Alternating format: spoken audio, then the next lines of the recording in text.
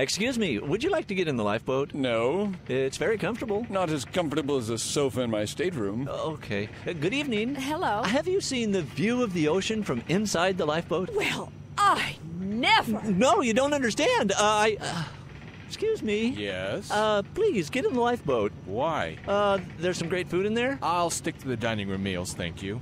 Jensen? Uh, yes, Captain. Why aren't these lifeboats full of people? They'd rather stay in the stateroom or enjoy the meals in the dining room. Jensen, this ship is sinking. Well, if you just let me tell them that. We don't want to scare people into the lifeboats, Jensen. People would be offended. We might lose their business. I- excuse me, there's water in my stateroom. We'll get someone to fix that right away. The lifeboat's dry. I don't want to get in your lifeboat. The Bible talks about hell as a very real place.